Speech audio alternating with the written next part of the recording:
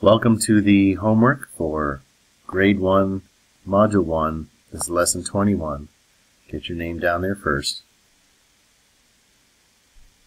Don't leave it for later because you won't, you won't remember it. Number 1. Draw the five group card to show a double. And then write the number sentence to match the cards. So here's an example up here of what we're doing. We're making doubles. Doubles are when you just add the same number to itself. You double it. So for A, we have 4, and we're going to draw the other card, 4. So, and then we write the uh, number sense to match the cards, 4 plus 4. Now, remember the five group cards. If you have them, you can just turn them over. Right? Now, on the other side of it, you don't have to draw this. But in case you don't have them, or you, you don't remember what these are, or you didn't use them before, um, on the other side you'd have four dots of these four cards. And you can use them because if, you still, if you're still counting to add up, you can still use the dots and count them 1, 2, 3, 4, 5, 6, 7, 8. And that's how you use the, the five group cards to add. You can count the dots. It's eight dots altogether. Uh, so we've got for B we've got the three, so we need another three. And we just have the doubles. Number sentence, 3 plus 3 equals 6. And we have 5, so we need another 5. 5 plus 5. It's like 5 fingers on your left hand, plus 5 fingers on your right hand, 10 fingers. Number 2, fill in the 5 group cards in order from least to greatest. Right, least is the smallest and greatest is the largest.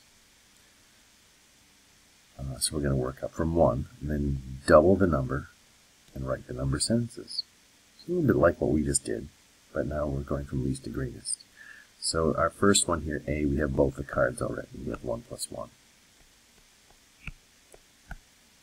1 plus 1 equals 2. And now we have 2's. 2 plus 2 equals 4. And then we have threes, 3 plus 3.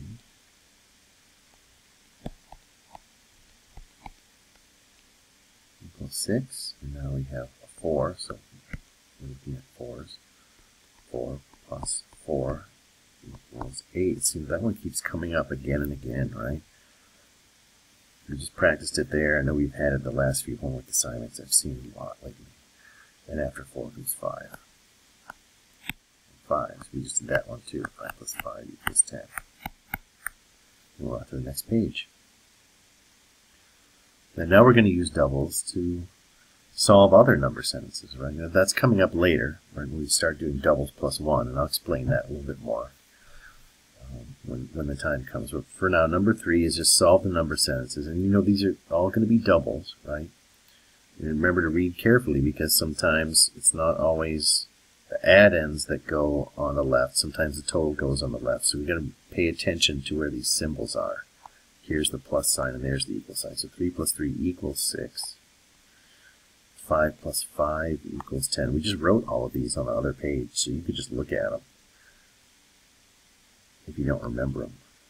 But you should practice these on the five group cards so that you can just really remember these and just without having to think about them too much. You should just know them just like somebody asks you your name, and you just say your name because you, you don't have to think about it. You don't need a rhyme to remember it.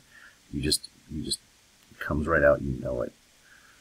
You don't have to count to think about it. Four is two twos, two plus two, and eight is two fours, four plus four.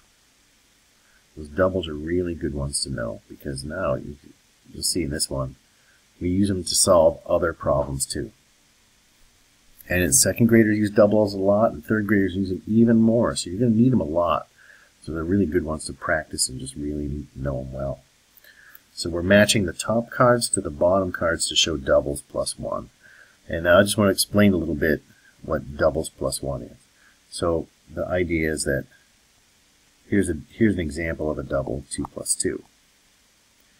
And we already know that we've done this one. We practiced it already 2 plus 2 equals 4. Well, the idea of doubles plus 1 is, well, if I know 2 plus 2 equals 4, if I add 1 to one of those 2's, then it's 2 plus 3.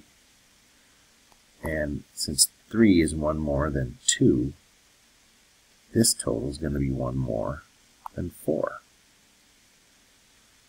That's a doubles plus 1. I'll just give you one more example of it.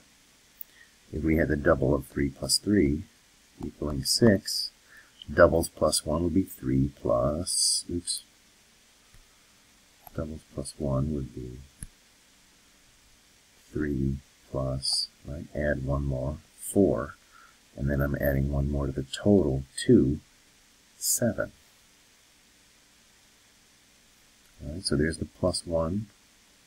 I add 1 to that 3, and then I'm also adding 1 to the total because it's going to make the total 1 bigger. So um, I'm going to show doubles plus 1, right? So 1 plus, it would be 1 plus 1 would be the double, so what I'm looking for here is 1 plus 2. And 4 plus 4 would be the double for 4 here for B. So I'm looking for 4 plus 5 for the double plus 1. And 3 plus 3 would be the double for 3, but it's plus 1, so I'm adding 3 plus 4. And 2 plus 2 would be the double for expression for 2. So, but instead I'm adding, I'm making, making it double plus 1, so I'm not 2 plus 2, it's 2 plus 3. And so now we've matched the top cards to the bottom cards to show doubles plus 1. And I'm going to keep all that because I'm going to refer back to it for number 5. So I'm going to try and fit this all in here. So now we're solving doubles plus 1 number sentences. And we're going to write the double fact that help us solve the double plus 1.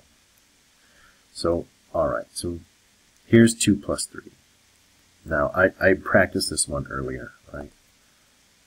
When I thought of 2 plus 2, I said, well, if 2 plus 2 is 4, then 2 plus 3 is 5. And that's exactly what this is. This is the example right here. So that means we just figured that out, right? That's 2 plus 3 is 5. And the double fact that I thought of, if I knew it, was 2 plus 2 equals 4. And if I knew that really well, then I think, well, 2 plus 2 is 4. Well, 2 plus 3 has to be 1 more, five, one more than 4. It has to be 5. Here's B. And that one, we just practiced that one too, right? That one's right there. It's right here. That's the one I practiced up there for an example.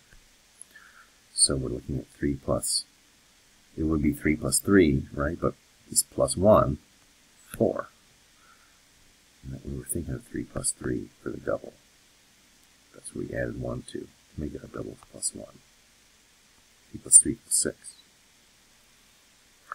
And this one, what, what's the missing addend here? There's lots of ways you could solve this, right? You could count up to 9 from 4. I think 5, 6, 7, 8, 9. You took 5 fingers. You could solve it that way. And then just think that the related doubles fact would be 4 plus 4 equals 8.